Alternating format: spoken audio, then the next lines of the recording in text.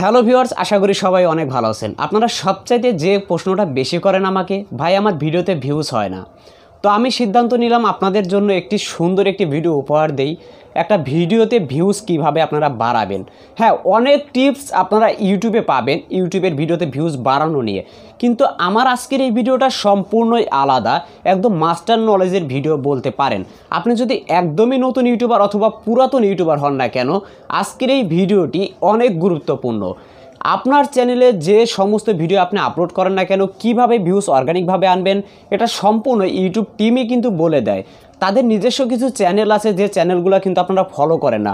আমার কোনো কথা না, একদম ইউটিউবের অফিসিয়ালি কথাগুলো আজকে আপনাদেরকে বলব যে একটি নতুন চ্যানেল কীভাবে আপনারা গ্রোতে নিয়ে যাবেন বা আপনার ভিডিও আপলোড করলে কীভাবে ভিউজ কালেক্ট করবেন।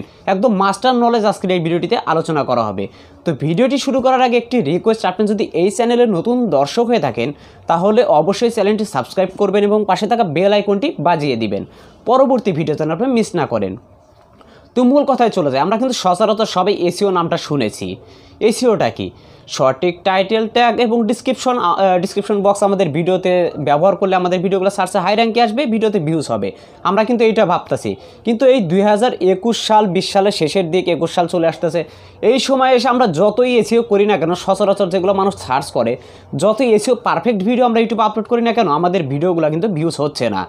এইটা এখন কিছু নলেজ এক্সট্রা আপনাদের অ্যাড করতে হবে। দেখুন, আপনি যতই সচরাচর টাইটেল এবং ট্যাগ ব্যবহার করেন, আপনার ভিডিওটিতে ভিউজ আসতেছে না। কারণ কি? এসিওটা কিন্তু অতটা ভূমিকা পালন করতেছে না দু হাজার একুশ সাল বা বিশ সালের শেষে এসে। তো এখন কিছু এক্সট্রা নলেজ আপনার অ্যাড করতে হবে, যেগুলো মাস্টার নলেজ সেটা হচ্ছে, আপনার ভিডিওতে তখনই ভিউজ আসবে বা ভাইরাল হওয়ার সম্ভাবনা থাকবে, সেটা টিপস একে একে আপনাদেরকে বলব। Number one content content quality content quality বলতে কী বোঝানো হয়েছে? আমি যে ভিডিওটা আপনাদের মাঝে উপহার দিচ্ছি একটাবার ভেবে দেখুন, আমার টপিকটা কোন ক্যাটাগরি? আপনি এটার নলেজ করবেন। আপনি যে বিষয়ে ভিডিও আপলোড করতেছেন, সেই বিষয়ের ভিডিওর যে কন্টেন্টগুলো আপনি সবার সাথে চেষ্টা করুন একটু ভালোভাবে উপস্থাপন করার, ভালোভাবে মানুষকে বোঝানোর জন্য। তাহলে এটা কন্টেন্ট কোয়ালিটি কিন্তু ভালো হবে। দ্বিতীয়ত হচ্ছে অডিও নয়েস একটা কন্টেন্টের জন্য অডিও নয়েস কিন্তু খুব গুরুত্বপূর্ণ। কারণ যে অডিও কোয়ালিটিটা যে আমি আমার এখান থেকে যে কনভার্ট হয়ে আপনার এখানে রেকর্ড হচ্ছে, আমাদের এখানে যদি এখন ফ্যানের সাউন্ড অন্যান্য সাউন্ড যদি শোনা যেত কে কে ঘেয়ে গিয়ে আমার অন্যান্য নয়েজ আসতো, তাহলে কিন্তু আপনারা আমাদের ভিডিওটা ফুল ওয়াশ করতেন না। কেন ফুল ওয়াশ করবেন না? আপনার মনে হতো ভিডিওতে কোনো একটা অংশ মিস আছে। এই কন্টেন্টটা খুব একটা ভালো না। বেকার একটি কন্টেন্ট ঘেই এই ঘেই এই ভিডিওর ভিতরে আসে যার কারণে একটা দশ মিনিটের ভিডিও যদি আমি আপলোড করি, এক মিনিট দেখি নয়েজ খারাপের জন্য আপনারা বেরিয়ে যেতে পারেন। তাই ভিডিওর অডিও নয়েসের দিকে লক্ষ্য রাখবেন এবং ভিডিও উপস্থাপনটাও সুন্দর মতো করবেন। নাম্বার টু ভিডিও থামনেল একটাবার চিন্তা করে দেখুন, আপনার ভিডিওর ভিতরে কী আছে, এটা পরে মানুষ দেখবে, আগে দেখবে আপনার ভিডিওর থামনেল আপনার থামনেল উপস্থাপন করতে হবে ভালো। যেমন এক্সাম্পল হিসাবে, এই একটা থামনেল আর এই একটা থামনেল আমার ভিডিওর থামনেল যদি এইটা না দিয়ে এইটা দিতাম, তাহলে কি আপনারা দেখতেন? এখানে দেখুন কম্প্রোমাইজ করুন। এই দুইটা থামনেলের মধ্যে কতটা চেঞ্জ আপনারা দেখতে পাচ্ছেন? এই দুইটা থামনেলের মধ্যেই কিন্তু ক্লিকের ইমপ্রেশন নির্ভর করে।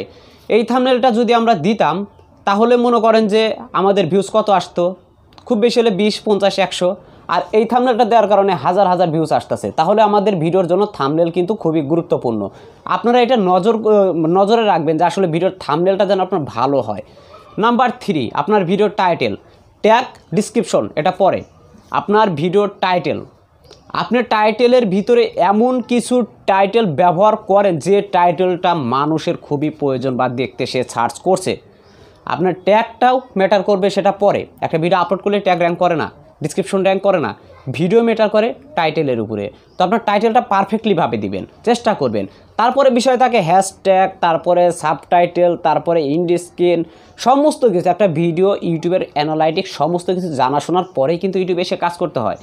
শুধু যে ধাপ করিয়ে গিয়ে দিলাম ভিডিও আপলোড করলাম, এমনি একটা কাজ করে তুললাম আমার চ্যানেলে ভিডিওতে ভিউজ আসবে, তা কিন্তু না। আপনার চিন্তা করতে হবে না কন্টেন্টের দিকে, আপনার টাইটেলের দিকে, আপনার থামনেলের দিকে, আপনার কোয়ালিটি ফুলের দিকে।